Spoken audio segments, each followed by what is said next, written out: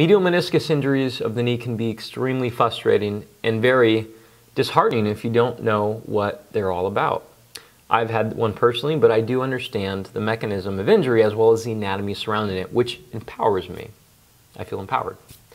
I'm going to empower you today and explain medial meniscus injuries. Here we go.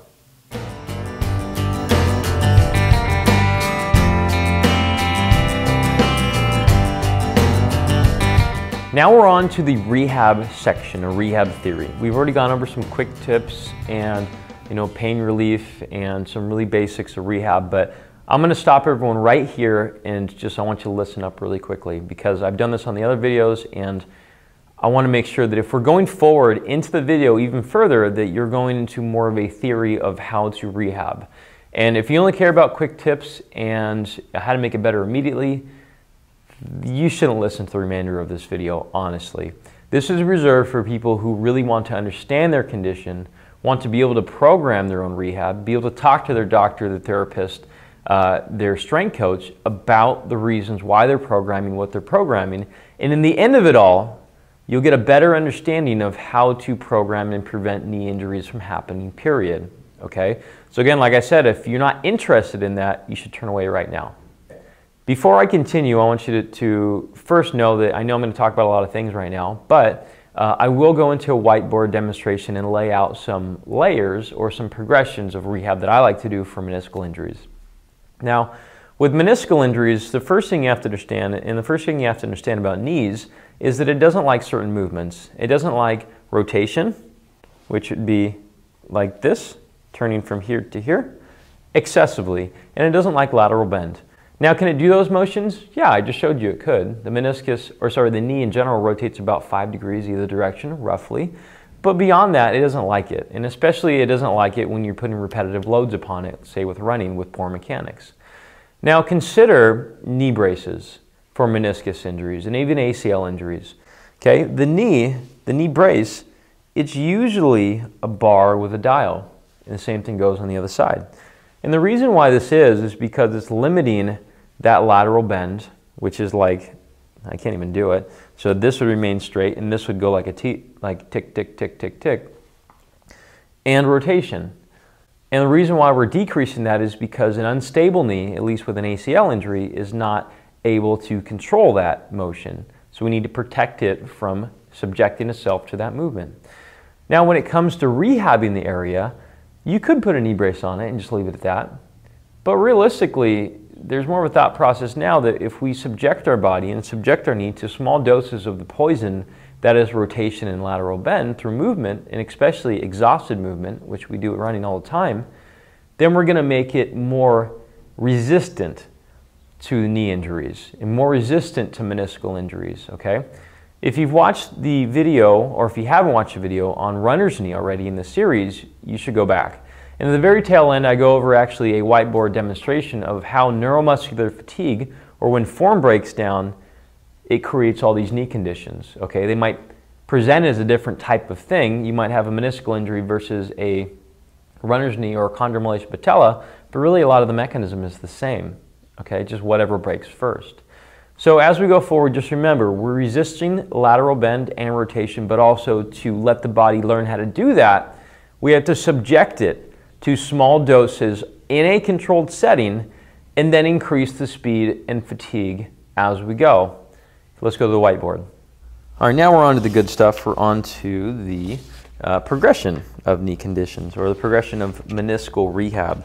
So I wrote this all out for you so you wouldn't have to wait for my uh, slow writing skills. But basically the progression of, of how we go is based upon the structure that's involved. Okay, in this case we're talking about the meniscus. So uh, in contrast, you might say we have runner's knee. Runner's knee, the undersurface of the kneecap is involved, so it has a little bit of a different presentation and, and people can't do certain things.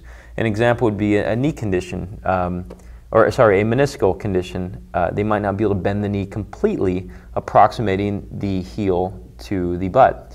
And with uh, runner's knee, a lot of times they can't even press, put pressure on the cap or they can't squat below 90.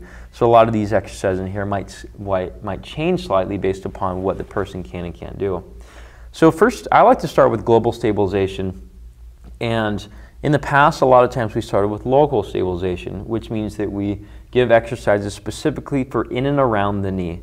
And I have put a couple videos out, uh, such as uh, quad sets and heel digs and stuff like that, which are a little bit more targeted to surrounding the knee or local stabilization, which does have its place. But the problem is, is if we don't have global stabilization, which means stabilization or, or really good function of the areas above and below the knee, then we're not going to have local stabilization either.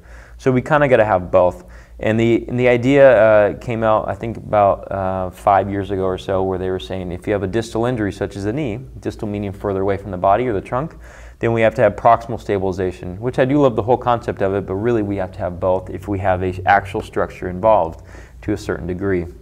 So global stabilization might be things like, um, might be bridges, it might be uh, planks, it might be part of the uh, Trendelenburg test like we showed on here. It might be uh, a lot of things. It might be lunges, squats, and so on. Local stabilization, like I talked about, it's right around the knee itself. So it's more of the conventional uh, PT exercises that you'd see for knees or corrective exercises for the actually around the knee. Now, a two-legged challenge, all this really means is we are challenging the body in a closed-chained or foot-on-ground environment. And the reason why we do this is because that is how we function in everyday life. That's how you function when you run. You have foot in contact with the ground. So two legs, we start with that mainly because it's more safe. And we can put a little bit more weight upon the people. Uh, so squats, deadlifts, and small knee bends are examples of things that I would possibly put into here, as well as lunging. Um, these are all good, good options in here. So once we've really mastered uh, a two-legged challenge, I like to go to a single leg challenge. And a lot of times we drop the weight significantly, such as uh, imagine a single, a double-legged squat versus a single-legged squat. This one is a lot more wobbly. Um, there's a lot less possibility to put more weight upon it. Um, so we got to definitely uh, check form here before we go into a single leg one here. Now, when I talked about uh, exposing yourself to the poison, this is where we're at in the rotational and lateral bend challenge. And it's not that we try to make the joint actually do that, but we try to resist the joint from doing that. And by joint, I guess I mean the entire limb. So in regards to stuff I would give here, I might give a rotational squat or an airplane. And if you've watched the other exercise or the other videos on knee conditions for runners, then you've probably seen an airplane already. Um, so an airplane is a really wobbly one. You want to do it to the best of your ability where you still succeed, but it's still challenging, okay? It's the high, it's I guess the lowest level of, um, not failure, but uh, competency, okay? You need to make sure we're continually working on imp improving our body's ability to resist rotation and lateral bend.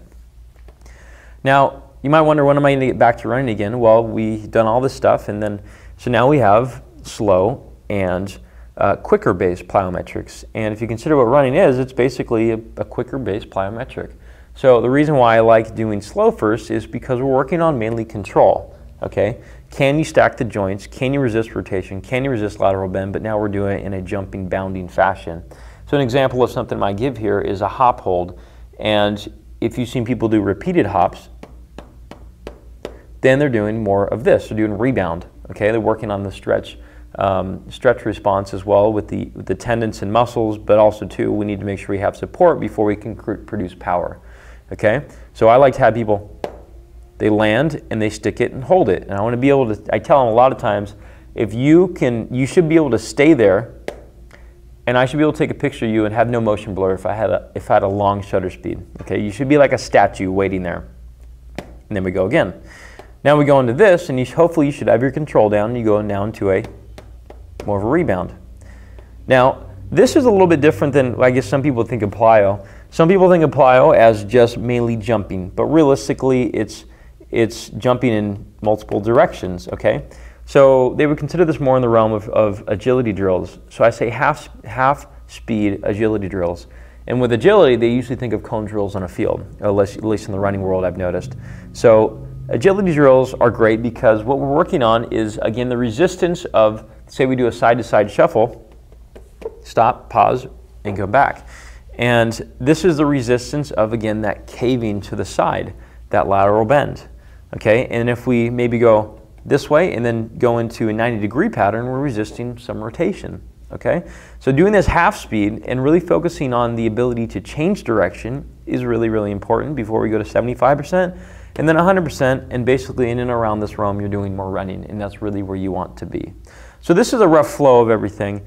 Um, again, it does jump a little bit, like I said. If we have a little bit more structure involved, say the meniscus is completely frayed away and just torn to bits, then we probably get to start on local a little bit more readily than global. And if it's just a minor meniscal tear, I'd probably start in global more so than local. Or if there's not a tear at all and there's, there's, there's just knee pain, but there's not any really positive MRI findings or ultrasound findings, then we're going to start at global because there's not a real structural problem. And if you don't understand that concept I said right there, I do have a podcast coming out on types of tears or levels of tears, and I believe it's going to be around uh, the high 40s but you should look at it because it's the current classifications of at least soft tissue tears and tendon and muscle tears. More so than this is a cartilage tear, but it still kind of applies roughly the same. Now I know all that seems really confusing, but it doesn't have to be. A lot of times I like to show these to people to show there is a progress that we're going through. And as long as you just kind of take the exercises given in those certain sections, then we're going to be pretty good. And now we can blend this a little bit and it, it's not necessarily black and white how we wrote it out as in levels because a lot of times it's dependent upon what the person or what you could do at each level and you might be really bad at one level and then great at another so we kind of blend them together.